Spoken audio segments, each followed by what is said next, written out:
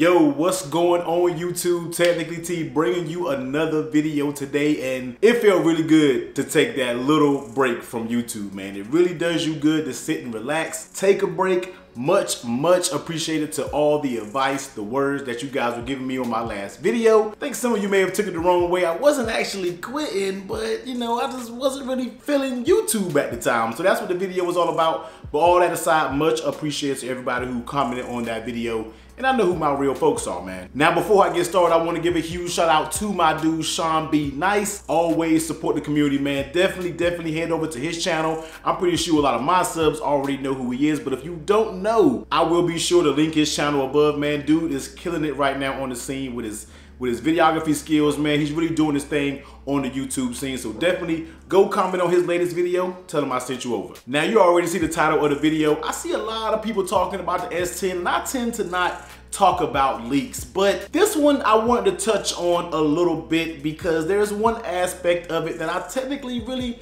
don't agree with everybody is saying about the S10. So let's go ahead and get a little bit of the general leaks now. If you see a little piece of paper, I wrote down some notes because I can't I can't remember this stuff. So what we kind of know of what has been leaked is there are going to be three models. You're going to have your S10, which is basically your regular S10.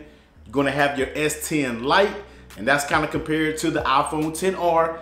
And you're to have your S10 Plus, basically your iPhone 10s Max. You see, they're kind of all kind of all similar, and even the sizes. You got the Lite coming in at 5.8. You got the regular at 6.1, and then the Plus at 6.4 inches. So all of that kind of sounds familiar, right? I mean, it, it does, but we, we're not talking about that today. Now, I'm sure if you've been on YouTube, Twitter, Instagram, all across social media, you already know what it looks like, and they're gonna be rocking that all screen. And before we used to say all screen but this time we really mean all screen display. Now here is where i am feeling a little bit different than what everybody's out here making videos about and disagreeing with. A lot of people out there on YouTube does not agree with the pinhole design. But me, hey, I feel like that Samsung making that step, making that leap to do something different. Everybody always ran it and raved and never cared about the notch. You disliked the notch. The Google Pixel came out and that was just the worst notch, but it is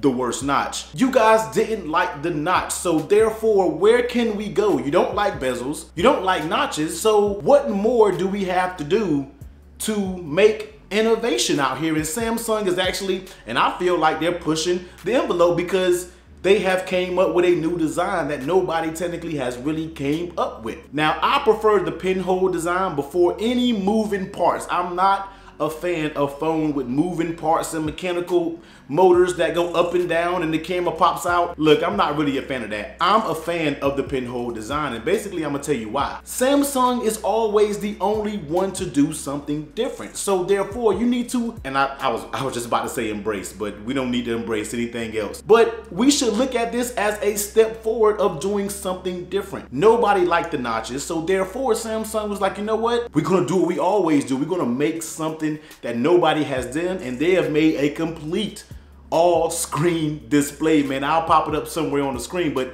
that thing is all glass. I mean, there's nothing out there. And then of course, they're already rumoring to have that in-screen fingerprint scanner. Now, I don't know how good that's gonna work because if history repeats itself, Samsung's fingerprint scanners are a little bit iffy. They're okay, but you know, take some notes from OnePlus because that fingerprint scanner is, uh, is, is hitting on that 6T. Let me glance back down at my note. Now this year, you already know all of the Samsung devices should be rocking that Snapdragon 855 and you already know that chipset is gonna be on point because I've said it plenty of times in my videos, the 845 was the turning point of Samsung devices where all of that lag that we used to experience for years and years non-existent when it comes to any of the Note 9, the S10, S10, the S9 Plus, S9, all of that perfectly lag free in all, all of mine right now. My Note 9, I can pop it up. My S9 Plus, I can use it. No lag at all. So you already know the 855 is gonna be where it's gonna be. Now, when it comes to the RAM, we already see phones are starting to push that envelope when it comes to the RAM. You got some out there that's pushing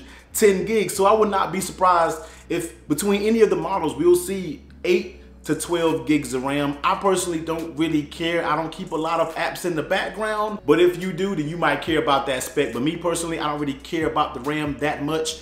You just have that processor, man. Everything else is definitely going to iron itself out. But one thing we got to touch on real quick are these pricing points that they have going on for these devices. Now we're talking about the Lite version. The Lite rumored to start around 700 to $800 and that's just for the Lite version. So you can tear it up, go to the S10, the regular version was gonna be 900 to 1100 and then you got the plus model that's rumored to be close to 13 to 1400 dollars. Now you already know these prices are getting just out of hand. Samsung, I'm pretty sure is gonna keep it going. If they got this all this new fancy, sexy, all-screen pinhole, who knows how many cameras on the back, you already know they're gonna charge a pretty little penny for that device, man. So I guess we really gotta sit back and wait to see what is actually official. Like I said, I don't really get into leaks, but I wanted to mainly discuss that I think the pinhole is a good idea because it's different. We don't like notches, we don't like bezels. What more can you do? Samsung, I can't really see them making anything where parts move. So the next best thing is go ahead and put that little pinhole. So we'll see how it all plays out, man. Stay tuned to February 20th is their live event, man. It's gonna be held in San Francisco. So definitely I'll be tuned in to that. Once the video drops after the whole keynote is over, I'll be making a video and letting you know what the real deal is with the S10. So like always, guys, definitely appreciate you watching this video. Like, comment, definitely share this video out. And before I get out of here, gotta let you know, man, even though I'm rocking my man Sean B Nice merch, your boy merch is live right now. The link is below. TechnicallyTee merch store officially dropped on Teespring, so head over there. Definitely check out if any designs catch your eye. And, and, and remember, man, all purchases are much, much appreciated and support the channel in many different ways. But TechnicallyTee, we out. Later.